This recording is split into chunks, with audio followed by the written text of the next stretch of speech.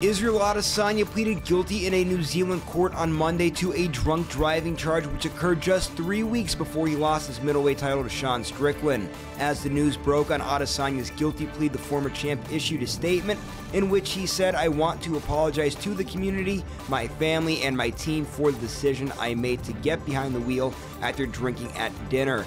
I am disappointed with my decision to drive. It was wrong. I know that people might follow me, and I want them to know I do not think this behavior is acceptable.